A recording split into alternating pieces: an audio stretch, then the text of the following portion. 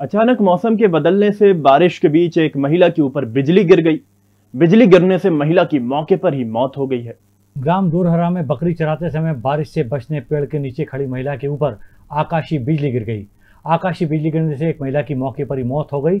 इस हादसे में एक अन्य महिला घायल हो गई जिसे इलाज के लिए अस्पताल भेजा गया। इस घटना में तीन बकरियाँ भी मौत का शिकार हो गई। आकाशीय बिजली गिरने की शिकायत लेके एक महिला भर्ती हुई है। जानकारी जैसे मिले कि एक और दो महिलाएँ साथ में बकरी चरा रही थी, एक की मृत्यु हो चुकी है, दूसरी का इलाज जारी है। हालत स्थिर है, महिला स्वस्थ है।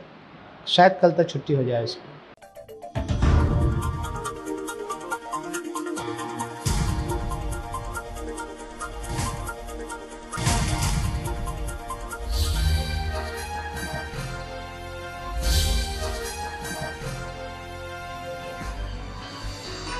आप देख रहे हैं दखल न्यूज़।